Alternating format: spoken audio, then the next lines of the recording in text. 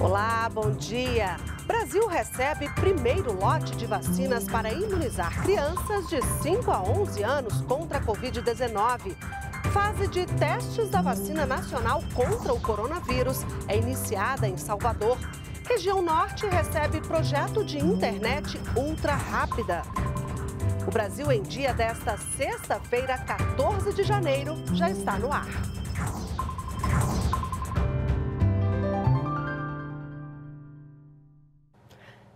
8 horas da manhã estamos ao vivo também pelas nossas redes sociais. O Brasil recebeu o primeiro lote de vacinas contra a Covid-19 para crianças de 5 a 11 anos. São mais de um milhão de doses da Pfizer. O voo vindo da Europa chegou ao aeroporto de Campinas pouco antes das 5 horas da madrugada. É o primeiro lote de vacinas contra a Covid-19 da Pfizer destinada às crianças de 5 a 11 anos de idade.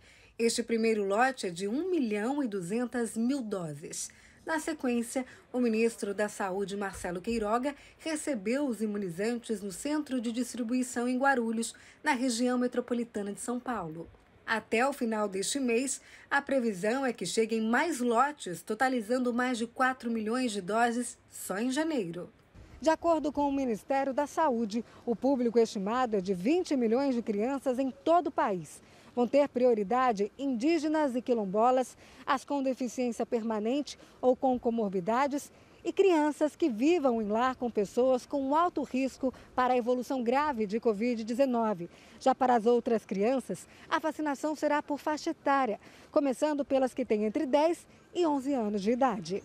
A Agência Nacional de Vigilância Sanitária, Anvisa, fez algumas recomendações sobre a vacinação infantil. A vacinação das crianças deverá ser realizada em ambiente separado dos adultos. As crianças devem ser acolhidas e permanecer no local em que a vacinação ocorrer por pelo menos 20 minutos para serem observadas. A recomendação também é que a dose contra a Covid não seja aplicada junto com outras vacinas do calendário infantil. O responsável que vai aplicar a vacina deve avisar os pais sobre as possíveis reações, como dor, febre, calafrios. Os pais devem procurar um médico caso a criança tenha dores repentinas no peito, falta de ar ou palpitações após a aplicação da vacina. Até que nós sabemos no momento, existe segurança atestada não só pela Anvisa, mas por outras agências regulatórias para aplicação dessas vacinas. O intervalo entre a primeira e a segunda dose será de oito semanas. A vacina da Pfizer para crianças traz uma distinção muito importante na forma de apresentação, a tampa laranja. Esse aspecto deve ajudar as equipes de saúde, pais, mães e responsáveis no acompanhamento da vacinação. Além disso, a conservação é diferente, já que pode ficar por 10 semanas em temperatura de 2 graus. Uma imunização de crianças de 5 a 11 anos. Cuidaremos daqueles que são o futuro deste país. E em Salvador, na Bahia, foi iniciado o estudo clínico de fase 1 da primeira vacina brasileira contra a Covid-19.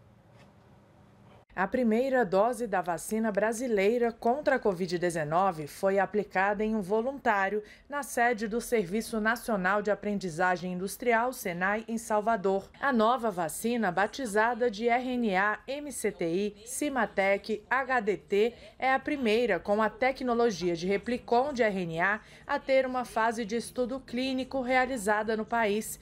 A pesquisa conta com financiamento do Ministério da Ciência, Tecnologia e Inovações o imunizante vai contribuir para a autossuficiência do país em relação ao suprimento de doses de vacina contra a Covid-19. Nos momentos mais difíceis da humanidade, a ciência foi lá para resgatar a humanidade. A gente está vivendo um momento desse e a gente está vendo a importância da ciência, a importância de cada um, de cada pesquisador, a importância de cada laboratório para que a gente tenha resultados né, que nos tire dessa situação de pandemia e que nos ajude a recuperar economicamente o país. A primeira etapa do estudo, que tem participação de 90 voluntários, serve para avaliar principalmente a segurança da vacina.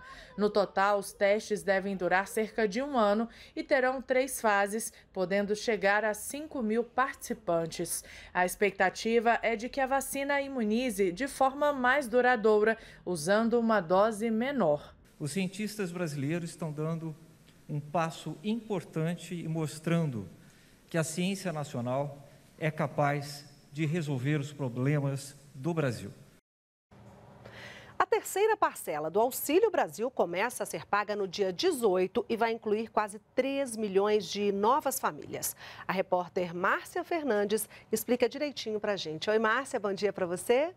Oi, Luciana, bom dia para você, bom dia a todos que nos acompanham. Pois é, Luciana, essa, esse próximo pagamento ocorre no dia 18 de janeiro e, como você disse, vão ser incluídos cerca quase 3 milhões de famílias vão ser incluídas e agora a fila fica zerada, aí num total de 17 milhões e meio de famílias atendidas pelo Auxílio Brasil. E o valor também aumenta agora para 400 reais. Essas famílias que forem incluídas no programa receberão o Auxílio Brasil por meio do aplicativo do Caixa Tem. E olha, com esses novos números a gente consegue ter uma ideia melhor do panorama de como que fica o pagamento desse, desse auxílio, desse benefício em todo o Brasil. Por exemplo, em relação à região norte, houve um incremento de 18% no número de beneficiários assistidos pelo Auxílio Brasil nessa região. E em relação ao nordeste, é a, regi a região com mais beneficiários assistidos. São 47% do total estão no Nordeste. A Caixa anunciou também é, novidades sobre o Auxílio Gás, que a partir de agora vai seguir o mesmo cronograma do Auxílio Brasil, o mesmo calendário. Cerca de 108 mil famílias do norte de Minas e também do sul da Bahia que foram atingidas por aquelas chuvas, aquelas enchentes agora do final do ano, no mês de dezembro, eles já começaram a receber o Auxílio Gás a partir do mês passado. Mas esse programa ele vai auxiliar ao todo 5 milhões e meio de famílias até o final de 2026. Luciana. Márcia, obrigada pelas informações. O INSS suspendeu temporariamente as perícias médicas para a revisão do benefício de incapacidade temporária, o antigo auxílio-doença. Isso devido à pandemia.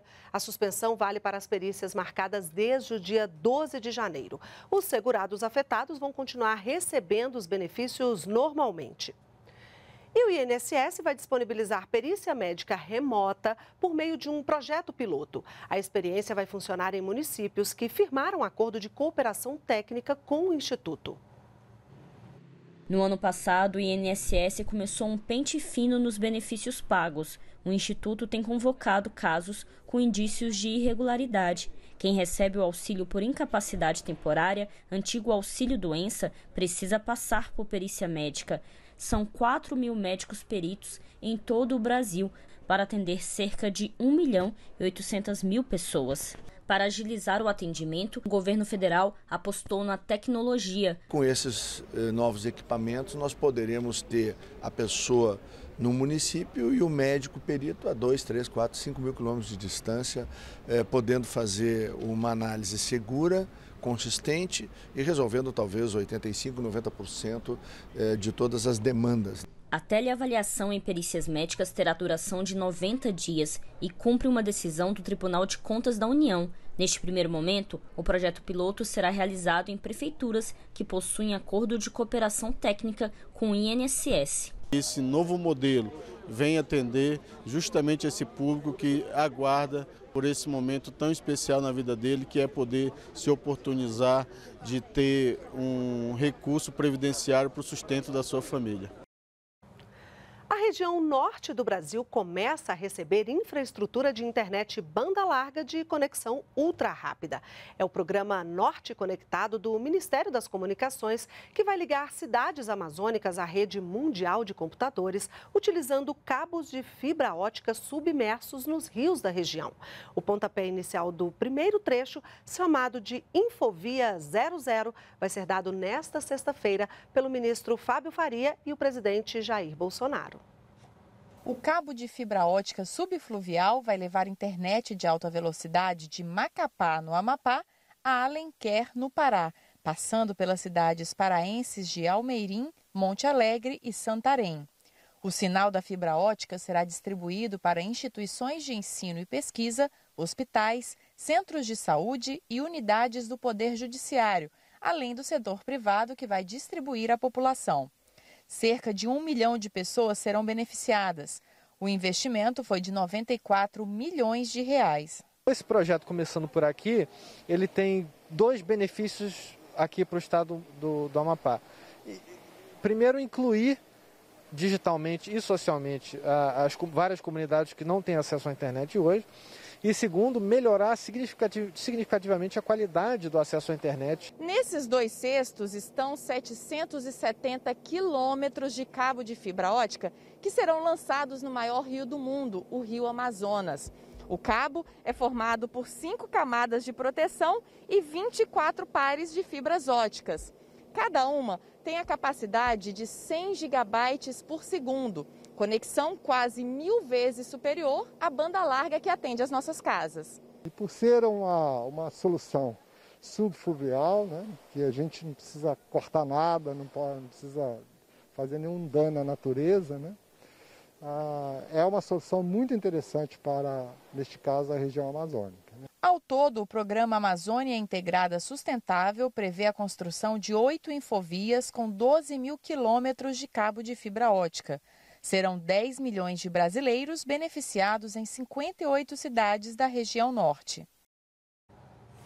Foi prorrogada até 2026 a isenção do imposto sobre produtos industrializados na compra de carros por taxistas e pessoas com deficiência. Desta vez, o benefício que existe desde 1995 também atende pessoas com deficiência auditiva. Desde os quatro anos de idade, Larissa sofre com artrite idiopática juvenil, uma doença inflamatória crônica que afeta as articulações e outros órgãos. Aos 44 anos de idade, ela já comprou três carros com isenção do Imposto sobre Produtos Industrializados, o IPI, adaptados para pessoas com deficiência. O meu carro ele tem é, apenas o banco elevatório, o, o, a adaptação hidráulica no volante para que eu possa dirigir, para ser mais leve, e eu tenho retrovisores em todos os cantos do, do veículo para poder ficar mais fácil. É, já que eu não posso virar tanto o pescoço em função de cirurgias já existentes. Até 31 de dezembro de 2026, taxistas e pessoas com deficiência podem comprar veículos com isenção de IPI. A nova lei aumentou de 140 mil para 200 mil reais o valor máximo do automóvel a ser adquirido. Outra novidade é a inclusão de pessoas com deficiência auditiva entre os beneficiários da isenção do imposto. Também podem comprar carro com isenção de IPI pessoas com deficiência física, visual e mental severa ou profunda e pessoas com transtorno do espectro autista. O único veto à nova lei foi ao item que ampliava a isenção para incluir acessórios que não sejam de fábrica. A autorização para a compra de veículo com isenção de IPI é emitida pela Receita Federal. O beneficiário pode recorrer à isenção para um único carro a cada dois anos.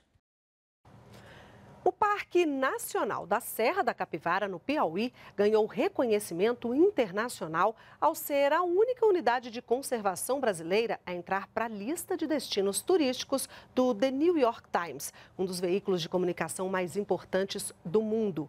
O parque é administrado pelo governo federal por meio do ICMBio e possui grande valor arqueológico e tem inclusive os primeiros fósseis de homens que habitaram as Américas. Nós ficamos agora com imagens da da Serra da Capivara. Para rever essas reportagens de hoje, acesse as nossas redes sociais. Para você, um ótimo dia, um ótimo final de semana e até segunda-feira.